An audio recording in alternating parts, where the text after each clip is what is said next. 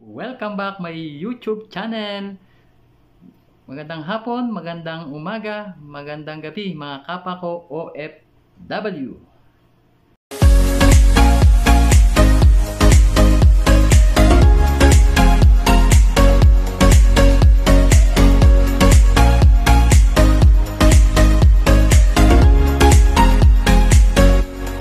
OFW. So bago ang lahat at ako ay nagpapasalamat muna po sa inyo sa inyong mga mga tumatangkilik po sa aking ah, YouTube channel. Ah, tayo po ay naka more than ah, 5,000 na po na subscriber po. Kundi po sa inyo po ay hindi po po matutungtong po ang aking ito po aking ah, pangarap.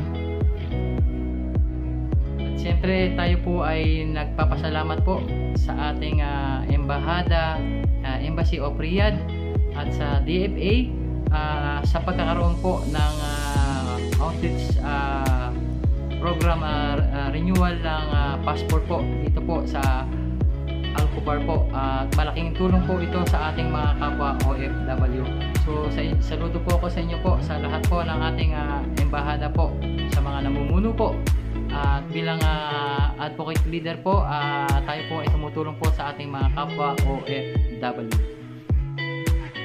Yun nga, at tayo ay ah, natutuwa at nagagalak at tayo po ay magkakaroon na po ng ah, ah, renewal passport po dito po sa Alcobar sa Raqqa po. Ito po ay malaking tulong po sa ating mga kapwa OFW po. So hindi na po tayo pupunta po ng ah, Riyadh para magpa-renew po ng ah, passport ay mas malapit na po dito. Dito po at ah, i-search niyo lang po yung ah, www.bfsglobal.com So makikita niyo po doon yung ah, website po ng ah, kanila pong ah, ah, kanila pong ah, ah, online. So so makikita niyo po doon mga kapwa ko OFW. Yun nga guys, at maraming na nagtatanong sa sa, sa akin, ah, kailan ba, kailan ba magkakaroon ng ah, online po ng ah, BFS Global.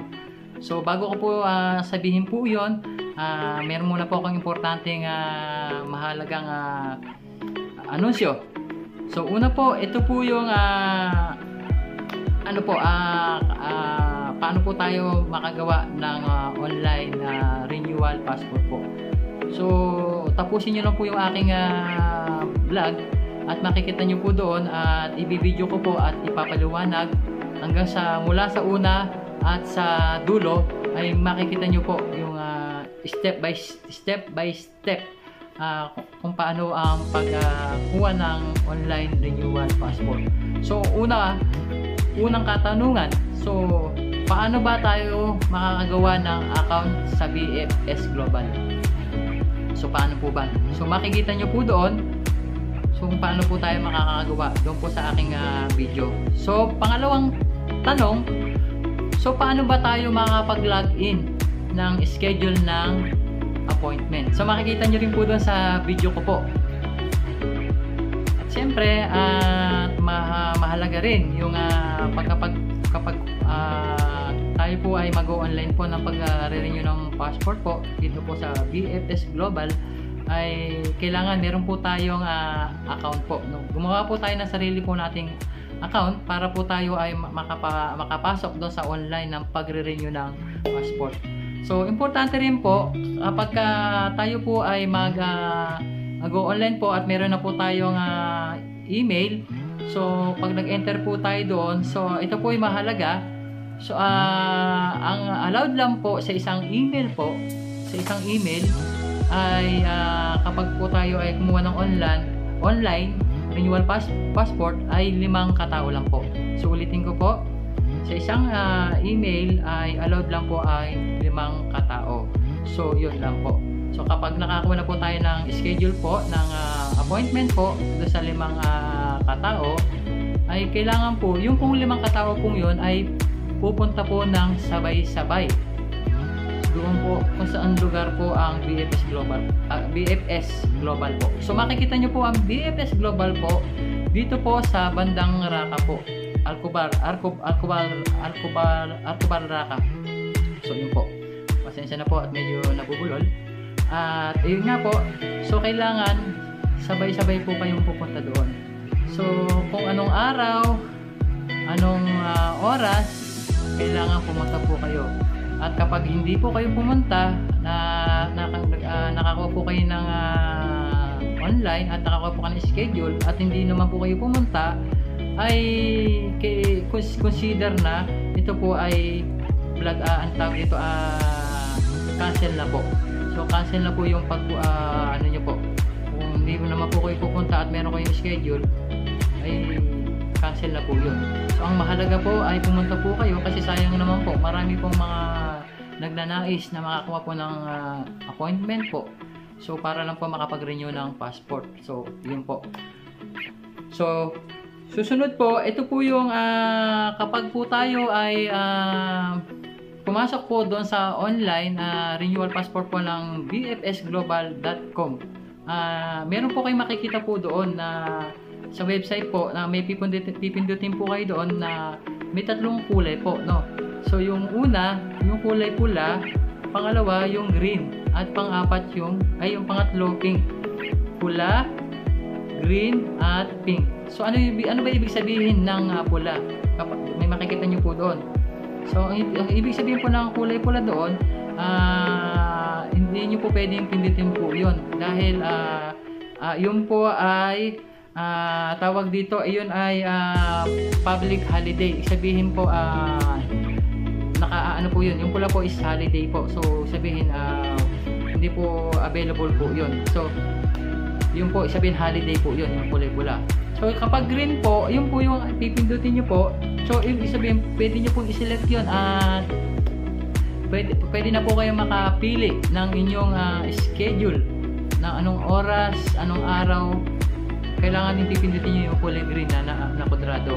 O, kapag napindot nyo po yan at pag na-accept na po, ah, magiging pink po na po siya. So, yun po, uh, magiging sabihin nun, success na po ang inyong ah, appointment po. So, meron na pong ah, confirmation po. Okay po. At syempre, meron pa po kong mahalaga pong ah, sasabihin po. Yung pong ah, allowed lang po na pwede pong makapag-renew ng passport po, ito pong mga kapwa natin OFW. So, halimbawa po, ito yung mga workers o kung saan ka man nagtatrabaho. At syempre, ah, yung ah, tawag dito, yung ah, senior citi- citizens. So, allowed din po siya makakuha po ng pagre-renew po ng passport po, yung online renewal passport po. Ang hindi lang po allowed na pagkuha po ng online na passport po, yung pong ah, yung baby po, yung kapapanganak po. So, pwede po, ah, ito po ay ina-allowed lang po ng ating ah, embahada, ng ating embassy, yung baby kapag kapapanganak at ku- kukuha na ng bagong ah, passport, doon po sila sa embahada po ng Riyadh po. Or it's either na pwede pong ah, minsan bumaba, ah, pumupunta po dito, minsan one, isang beses sa isang buwan yung ating ah, embahada, ah, po. So, yun po ang ah, mak- mak- makakakuha lang po ah, yung, yung baby lang po is yung embahada lang po yung ating embassy. Doon lang po pwede makapag-renew po ng passport po. So, ulitin ko lang po yung po pwede po dito sa BFS Global, yung po mga workers po natin, yung manggagawa po natin, yung mga kasambahay o ka, ano at anong uh, ka, saan ka nagtatrabaho at yung senior citizens po. Okay. So, isa pa pong mahalagang ah, ah, anunsyo po mga kapwa ko OFW. Yung pong schedule po. So, kailan po ba ito? Ah, ano po ba yung ah, work hours po ng BFS Global? So, anong araw ba pwedeng pumunta? Magpa-renew. Siyempre, bago tayo pumunta doon, ay kailangan na kailangan meron tayong appointment. Meron tayong ah, confirmation na on, ah, online na nakakuha tayo ng ano at dadalhin natin yon na ito ay pwede tayong makapasok, makapunta doon at tayo ay haharapin nila para makapag-renew tayo ng ng ah, passport po, no? So yun po yung ah, kapag wala po kayong schedule, huwag niyo na pong sadyain na kayo po ay pumunta. O kung wala po kayong online schedule, huwag po kayong pumunta po doon dahil hindi na po kayo haharapin. So ang kailangan lang po doon ay online may schedule po kayo na confirmation po na kayo gantong araw na to, gantong oras na to, ay may schedule kayo at kayo ay makakapag-renew ng passport. Okay. So, kailan po ba, anong araw po pwedeng pumunta po doon? So, halimbawa, sa isang linggo, meron po tayong, uh, simulan po natin ng uh, uh, Biyernes, Sabado, Linggo, Lunes, Martes, Miyerkules, Huwebes. Okay. So, ang uh, except uh, na hindi po po pwedeng pumunta po doon, yung uh, pahinga po ng mga ng uh, manggagawa po ng BFS Global, yung except Friday, hindi po tayo pwede magpa-renew ng passport. Except Friday po, no? Except Friday. So, pwede po tayong pumunta doon uh, Huwebes, Sabado, Linggo, Lunes, Martes, Miyerkules, Huwebes. Yung biyernes po, hindi po tayo dahil wala pong schedule po yun. Anong oras na naman po tayo pupunta po? Anong oras po ang working hours po ng BFS Global po? So, ang working hours po ng uh, working hours po ng BFS Global dito po sa Arraca Alcobar ay magsisimula po ng alas 8 ng umaga hanggang alas 8 ng hapon. So, 8 a.m. to 8 p.m. Ito po yung working hour hours po. Okay. So, yun po. Ano pa po po yung anunsyo ko po? Meron pa po tayo. So magkano ba ang presyo? Maraming nagtatanong sa ating mga kapwa OFW kung magkano ang presyo ng pagre-renewal, pagre-renew ng passport. Okay, so ito po ang presyo po. Ito po yung uh, magkano po ba yung uh, presyo or price.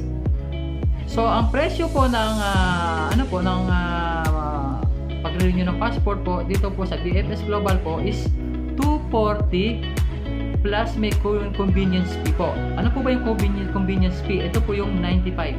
Okay, 240 real plus 95. So, equivalence is 360.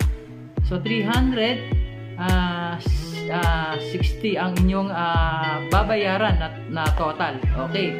At meron pa, ito po yung uh, kapag po tayo ay uh, gusto nyo i, nasa malayong lugar kayo, pwede nyo pong i, ang allowed lang po uh, na, na courier, courier po ay yung DHL po, tsaka yung Aramex po.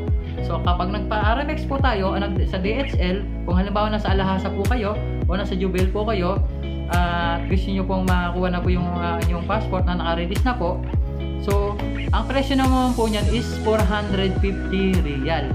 Okay. 450 real, buo na po yun. So, pwede nyo na po pa-DHL kung tinatamad po kayo or uh, Aramex, 450 real po lahat-lahat po yun.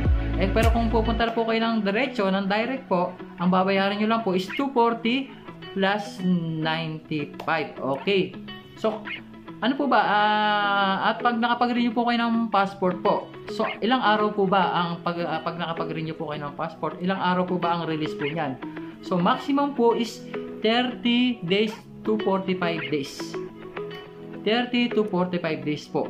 So, yun po. 30 to 45 days po. So, yun po ang maximum na oras po na ating uh, uh, release po ng passport. Okay. So, yun po. No? At ito pa po. Ito pa po. So, so ngayon po, marami pong nagtatanong po sa ating mga, na mga kapwa OFW. Katulad kanina, may mga nakasalubong po ako na mga kakilala at sir, kailan po ba ang uh, mag-open? So akala uh, akala po nila itong September eh ito pong ito itong araw po na to, itong uh, sit uh, tawag dito. Uh, anong date pa tayo ngayon? Uh, tignan ko nga po at ako yung narito, September 16. Okay? So, 16, 16 uh, sabi nila September 16 ay mag-open na po. So, mali po. So, uh, uh, hindi po totoo po yun. So, sa ngayon po, uh, ang available muna pong appo- uh, appointment po ngayon, ang available po na appointment po sa BFS Global, yun lang pong pagre-release lang po ng passport po. So, yung pag, uh, pagre-release lang po ng passport po yung available po. So, ngayon po, yung pagre-renew po ng online renew passport po, sa ngayon ay maghintay muna po tayo. So mga ilang linggo lang po at magbubukas na po yan. Yung iba kasi po excited po. Sabi, bakit ganon? Hindi pa bukas. Bakit ganon sir? Bakit oh, wala pa? Uh, bakit hindi kami makapag-online? At uh, ganon. So, maghintay po tayo mga kababayan, mga kapwa ko OFW dahil uh, sa ngayon ay hindi pa po uh, bukas. So, mga ilang linggo po magbubukas na po yun. Okay. So, yun po ah. Ah, ma- ah, tignan niyo po yung uh, mamaya yung aking ah, aking ano, ang aking ah, pag ah, ito po ang aking vlog, makikita nyo po doon, ituturo, tapusin nyo po itong aking vlog, ituturo ko po sa inyo kung paano yung pag-online, step by step po, para maintindihan nyo po. So ito po yung malaking tulong po sa ating mga kapwa OFW ah, dahil sa bilang advocate leader po ay makatulong po tayo sa ating mga kapwa po. So ano pa po yung mahalaga pong uh, anunsyo po? Po, kapag ka meron na po tayong schedule at yun nga po, kanina nga gawa, uh, gawa ng nasabi ko kanina, ay yun, uh, pag pumunta na po tayo doon ay sa uh, sa 10 lugar yon yung BFS log BFS Global uh, renewal passport po. Dito po sa may bandang Raka po. Sabihin niyo lang po sa taxi sa may bandang Raka Alcobar po. Malapit po dun sa makakuha po ng mga visa po. Dito po malapit po dito sa uh, dito po sa Indian School at malapit din po sa yung dati pong Philippine School po doon sa Raka po. So yun po. Uh, magdala po kayo ng tubig dahil uh, minsan mainit at importante magmas po kayo at ingatan po natin yung ating sarili gawa ng panahon ngayon. Alam niyo na po bawal magkasakit. Siyempre uh, lagi po tayong magdadasal. At uh, siyempre uh, huwag niyo po kalimutan uli po ang aking uh, subscribe po ang aking youtube channel. Uh, pwede po kayong mag-comment po doon pwede po kayong magtanong kung may katanungan po kayo at aking pong uh, uh, aking pong uh, sasagutin po So guys, so maraming salamat po at muli uh, tapusin niyo po yung aking vlog, makikita niyo po doon. Uh, ituturo ko po sa inyo yung uh, paano yung pag-online po. So kung may mga tanong pa po kayo, so dito po ang inyong uh, at your, uh, ang aking uh, serbisyo po sa inyong mga kapwa kong mahal OFW po. At siyempre, shout out po sa aking mga kapwa ko adv- advocate leader, mga PhilCom leader, at hindi ko na po kayo isasahin yung mga grupo po natin na tumutulong po na tayo po ay magkaisa sa ating pagtulong po sa ating OFW. Ito po ay uh, sa ating uh, bayanihan kung ano po yung ating ginagawa kahit na maliit na katiting na tulong ito ay malaking tulong po sa atin kahit po ay makatulong sa ating uh, pandemya sa panahon ngayon po. So tayo po ay magtulungan po guys. At yun. At syempre uh, sa lahat po ng mga kasama ko ng mga youtuber po from America, si Sir uh, Enrico ng Amerika, at siyempre si Sis Neri ng from uh, Philippines, andyan si Sir Danny ng Cambodia, andyan si uh, si Kajutay ng uh, from Japan, at siyempre nandyan din yung mga kasama ko mga YouTuber po, na mga nandito sa aming grupo. Suportahan niyo po ang aming YouTube channel po. At siyempre, huwag niyo po kalimutan i-subscribe po ang aking YouTube channel guys. So muli, abangan niyo po sa susunod po ng aking vlog po ay muli updated po kayo sa aking YouTube channel guys. Maraming salamat po. Sure po ng uh, pag-appointment po. So, ang gagawin nyo lang po, uh, i-search nyo lang po ang uh, BFS Global. So, makikita nyo po dyan, i-search nyo po siya and then, i-click nyo po yung uh, uh, lugar po ng Saudi Arabia. Uh, pagkayari, punta po kayo dito sa citizens, yung Philippines. And then, punta po kayo sa Go And then, makikita nyo na po yung website po ng uh, ah, BFS Global po. So, ayan po. Makikita nyo po. And then, i-click nyo po yan. So, sundin nyo lang po ako. I-click nyo po yan. Pagkayari po yan, uh, uh, punta po kayo sa baba. Tapos, uh, sundin nyo lang po yung uh, ginagawa ko po. And then, ito po, i-enter nyo po ngayon po yung inyong uh, email address saka yung uh, password. And then, punta po kayo doon po sa I'm not a robot. Okay. Pagkayari, continue lang po siya. And then, yan. Okay. So, sa pag-continue, so, uh, i-click nyo lang po itong, uh, yan. Dito po tayo ngayon sa, yan po, sa, sa schedule ng appointment po. And then, select po kayo ng, uh, ano po, yun po, yung uh, Philippine uh, passport po. And then, yan po, punta po kayo dyan sa uh, passport uh, re- uh, renewal po. Yan po i-click nyo po yan. So makikita nyo po yan. So and then uh, ito yan itinuturo ko po sa inyo. And then continue po. Continue po tayo. Pagkayari po punta po kayo dyan sa uh, ano itong uh, add account okay so yung add account po ito na po i-enter nyo na po kung sino po yung uh, inyo pong uh, ano po uh, kung sino po yung inyong uh, appointment. So, enter nyo lang po yung passport number po. And then, punta po kayo dun sa ano, uh, biglagyan nyo po ng date of birth and then yung passport expiry po. Kung kailan po na-expire, i-enter nyo lang din po dyan. Tapos, punta po kayo dito sa punta po kayo dito sa first name. So, yung pangalan po nung nung ano po, nung magpaparenew and then uh, apelido po niya. And then punta po kayo doon sa ano uh, kanyang gender male tapos sa uh, ilagay niyo po diyan yung uh, number po. Tapos enter niyo po diyan yung inyong uh, email po. So yun po, email niyo lang po then i-cut niyo po, i-copy niyo lang po and then enter. So okay.